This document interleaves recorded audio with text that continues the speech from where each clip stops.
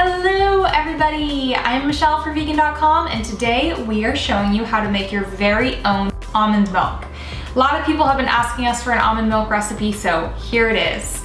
All you're going to need is one cup of raw almonds that have been soaked overnight, some maple syrup, about two tablespoons, one teaspoon vanilla extract, a pinch of salt, three cups of water, a nut milk bag, which is similar to a cheesecloth except for in bag form. And it's got really, really fine holes so you can strain the milk and remove the fiber. And finally, you're going to need a very high powered blender. Today we are using the Blendtec, which is one of my favorite kitchen tools, but you can also use a Vitamix or a similar high powered blender. So let's get started making our own almond milk and I'll show you how it's done. Alrighty, the first thing we're gonna add is our one cup of soaked almonds. It winds up being much more than a cup once they're soaked because they poof up and grow in size. Now we're gonna add our three cups of water.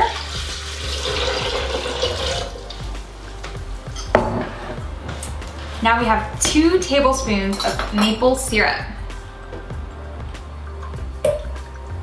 And this is what we're using as the sweetener. Now we're gonna add one teaspoon of vanilla extract. And this is what's giving it that flavor that you're used to from the almond milk in the grocery store. Otherwise, the really nutty flavor is gonna come through. All right, now we are ready to go.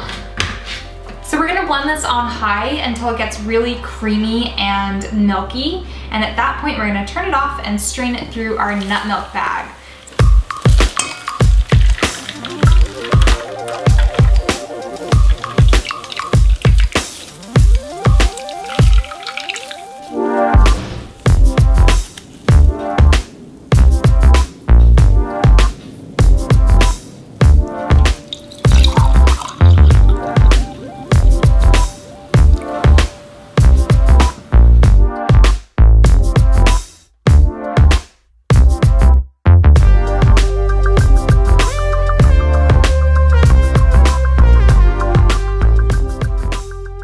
And that is how you make your very own almond milk. This is such a simple recipe that anyone can make at home. I really hope you give it a try.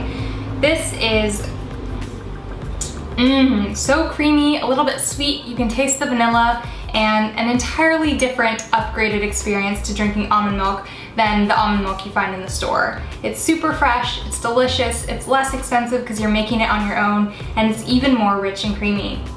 You guys can find the full recipe at vegan.com slash almond dash milk.